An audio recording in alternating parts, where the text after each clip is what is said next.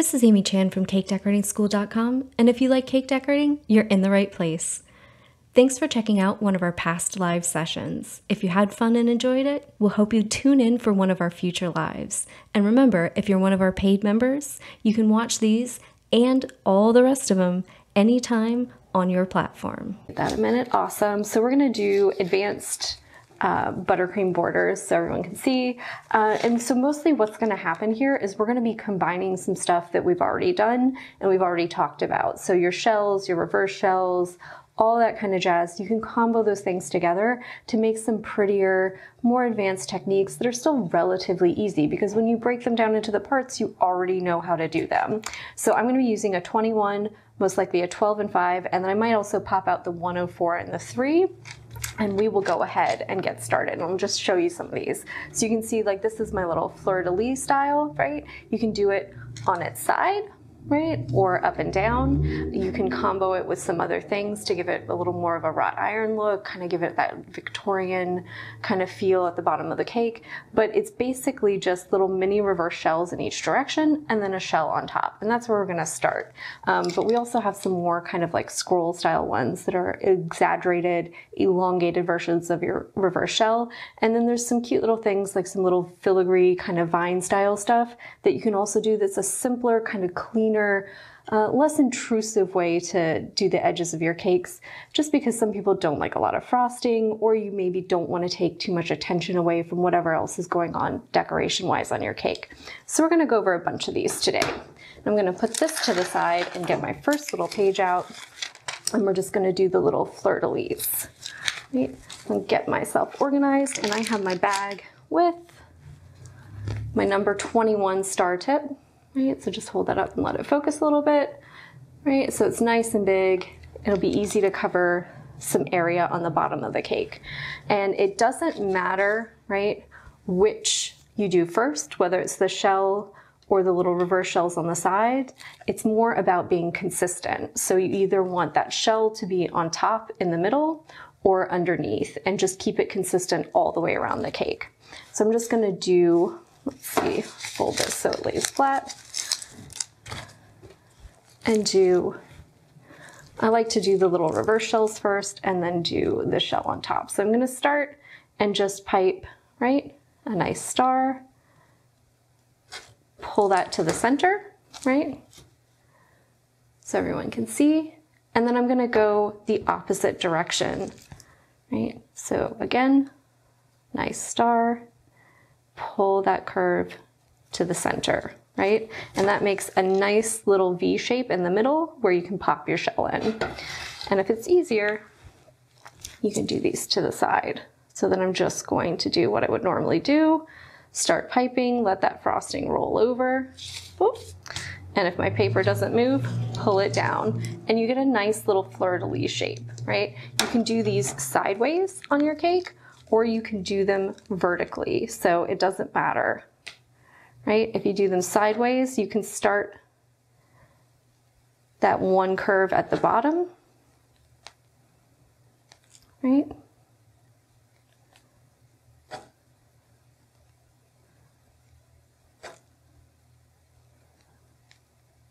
And line them up like that so that edge is on the bottom of your cake.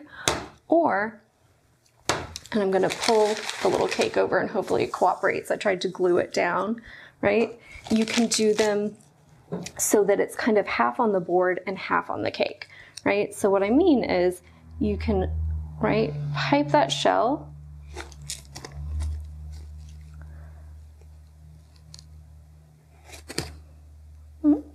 like that, right? So you can get them going so it's half on the board and half on the cake right? It's a little, sorry, I'm at a funky angle, so this didn't quite connect right, so that it actually covers up the bottom.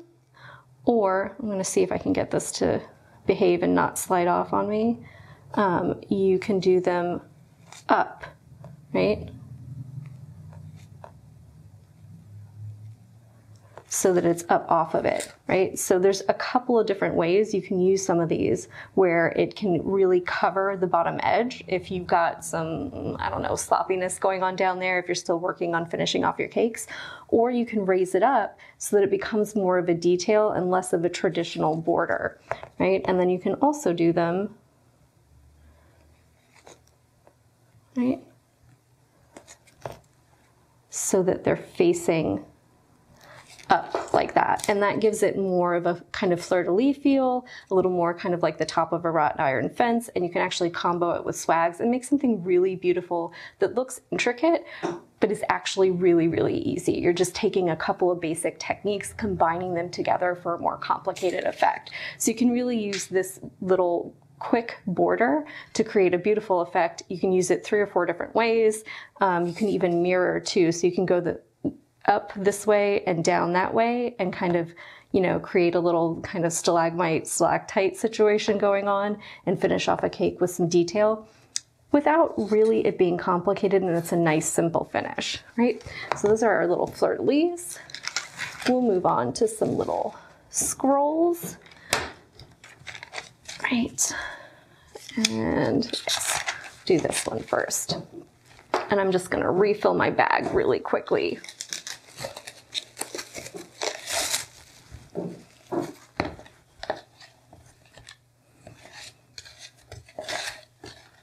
just so I have enough. So the scrolls are gonna be like a reverse shell, except we're gonna open up that curve and make some space. So we're just gonna really make it larger than it normally would be. And I'll pipe a reverse shell first, just so you can see what I mean. But make sure I get loaded up on buttercream because I'm gonna use quite a bit. So And scrolls are a nice little way to finish the bottom of the cake too. So when we're doing a typical reverse shell, it's really nice and tight. So you start piping, you let that frosting balloon out and you curve it over, pull it down, and it's a nice tight, right, short motion. What we're gonna do is take that, start it, and then we're really gonna draw and elongate it and make it a nice long tapered tail, right? So we're gonna start, pull up, right? Let that twist out and make a nice, beautiful pattern. And for whatever reason, my buttercream is being really naughty today and it's trying to do that. Um, so we'll do another one just to make it cooperate. Right, so nice, big, beautiful. Let it lay into place right? And I'm gonna taper off my pressure and pull a little quicker just there at the end, right? And then when you go to do your next one, you're just gonna overlap, right? And keep going. So you cover up your little ends and you make a nice pattern all the way around the cake. And the one thing you can do here is then, right, go in and make a smaller one as well, right? And this gives you this kind of like cresting waves, nice little kind of scroll detail work at the bottom right? And you can see you can line up all those little curved started edges at the bottom. Or if you want to mix it up a little bit when you do these, you can make that smaller, right, accent piece. There we go, it's warming up on the other side, right? So you can always do them same side, other side. You can alternate, right, to give it a little more interest, and then you can just keep going all the way around your cake. So it doesn't have to be consistent, and you can use that to your advantage to create some alternate designs. So you can go all the way around the cake doing your second little curve on the same side, or you can do every other. So go bottom and then top, bottom, top right? And you can use that as a way to mix up and vary your designs very easily. Gives them a little bit of interest, especially if everything's kind of monotone. It just adds a little kind of flavor and spice and draws the eye in, right? Yes.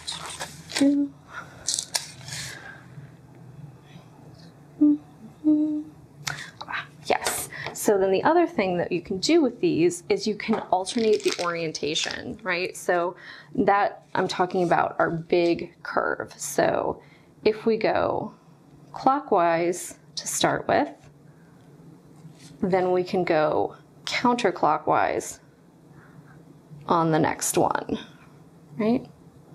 So that gives it just a little bit of a more, I'd say, kind of floral, kind of viney look, things growing out of each other. So you can use basically it's reverse shells over and over again. We're just combining them in different patterns to give it a different feel and tone. Put this to the side. And what is next? Ah, so the zigzags are another one that's easy to combo. It's a really nice effect. Uh, and you can get some kind of floral, not really floral, but kind of like fabricy textile feels with those. So for those, I usually use a nice star tip, so in this case R21, and you're using the opening of the star tip, right, to really kind of determine the width of your little zigzag, right? So you're just letting that frosting flow out in a nice even pattern, right? And then you can use that along with a plain tip or ruffles or other stars, right? You can go down the middle and do a little shell. And this one always looks nice in pastels, so it gives you a nice, really full border and it kind of looks like a nice kind of ruffled ruched fabric with a little beading detail on top. So it kind of gives you a very lace kind of fabric textile feel. And the other thing that I like to do with it, which for me kind of reads like grosgrain, is taking that bead border and putting it on both the top and the bottom, right? So this ends up looking a lot like ribbon. And I like having a lot of different little borders that I can do kind of like in my back pocket, ready to pull out. Because a lot of times when we get requests for orders, people may not know what they want at all. Sometimes they just give me one word. They say pink they don't tell me what shade even. Um, so having a bunch of different ways you can finish a cake and a bunch of different suggestions kind of ready to go can be really, really helpful. Um, and sometimes even for weddings, the only thing I might get is a color swatch. Uh, so having things that I can draw from inspiration wise that give me the look and feel of some fabrics or some textiles is always uh, great. And sometimes ends up being just what they wanted. Right? So the other thing I like to do with these, which has a bit more of a geometric feel, right, is taking it and letting the bag burp, but reversing it, right? So I go for, right, three little lines one direction, three little lines the other direction. And it's actually a cute way to kind of make like a little mosaic. You can do these in different colors, go one direction, one color, other direction, the other, and make a nice little checkerboard pattern even on the bottom. So it's a great way to add a little design, a little detail, a little interest without getting too crazy or having to know how to do too many things. And it almost has a little bit of a Greek key feel to it as well. So it's just another way to take that zigzag, add a little interest, make it look more complicated just by doing it in short little segments so that it lines up and makes an even border at the bottom, but it gives you a little bit more interest and has a little bit almost of a Cornelli lace feel, but you can see it's nice and puffy, so it'll cover up the bottom edge of your cake, which is always important, especially if you're still working on smoothing your sides right? So then I think the other one that I know I want to cover is what I kind of call my little filigree style or vines. Um, and vines can also easily be kind of like streamers and confetti. So I like to think of like, I don't know, cafe signs, like Italian, French cafes where they have that nice little filigree kind of scroll work around the lettering and lots of little dots and other stuff, but it's just a really simple way to finish the edge of a cake. So you just start with a line, touch down, and then we're just gonna make a series of little loops. And I like to do kind of like one small, one big, one small, right? And then go ahead with your line. Little dot, little dot, little dot, and then I'm gonna repeat my pattern again, right? And this is just, as you can see, I'm using a number five tip. It's still nice and small. It's a minimalistic way to kind of finish the side of the cake that adds just a little detail without really being distracting, right? And a lot of times too, you can do this in like chocolate or something else if someone doesn't really like a lot of buttercream or a lot of frosting. But those loops can also be used at the edges of your cakes. So I like to think of this on like like sheet cakes. We have a lot of vineyards in our area, so a lot of times people are like, just throw some grapes on it, and I'm like, oh, okay. How do we class up grapes, right? Just making some little scrolls. So if we imagine this is kind of the border of a square sheet cake, just taking a large round tip and letting your frosting do the work. You can make a series of loops that go different directions, and it's a great way to edge off and define the corners of the cake. Add a few leaves, a few little dots for your grapes, you're ready to go. If you do a bright color like this, some of those confetti quins, it becomes streamers, and it's a nice way to kind of frame a message on a celebration cake, even though it doesn't cover up the actual borders. And it pairs well if you do something like a shell with just a plain tip, like a number 12 on the bottom, right? Then, oh, yep. Then we have kind of more combinations that we can do. So just off of the top of my head, right? These were some that I was kind of thinking of the other day. So I did a little line, right? Some tiny shells, my little curly cues, shells, lines, right? Dots, cute little way to add some interest. Almost looks like jewelry or necklace. Beautiful if you're doing something princess themed for little girls or whoever. And let's see. And you can also combine your scrolls with your fleur-de-lis. And then I'm also gonna do it with, I think, a ruffle, just because they look really nice.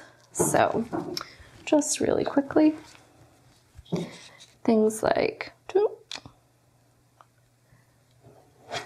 right? you can do your little scrolls, right? And combine it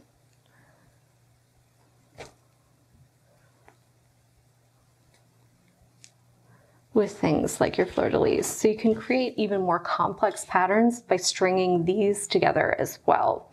Um, so it's kind of the sky's the limit. Once you know how to do some of the more basic ones, you can really get into it and make some really pretty kind of advanced ones. And a lot of times they're just combinations of ones you've already done before. But one that I really like doing and it gives me some very much Victorian cake kind of uh, string work and extension work vibes is using a little ruffle. Right, so you can either do, right, and this is with a petal tip, just a plain swag with it, or you can ruffle your arch, right?